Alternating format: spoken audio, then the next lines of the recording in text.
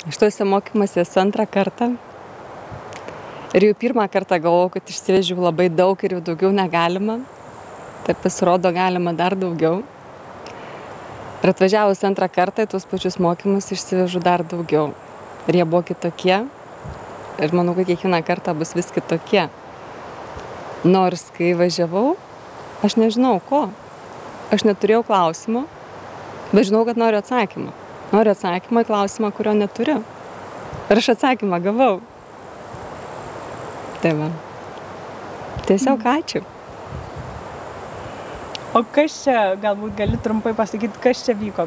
Kas čia per tokią savaitę, žinai, žmogui klausant, nežinau, iš ofiso, iš proto, tai ką jūs ten darot, kad va tie atsakymai ateina?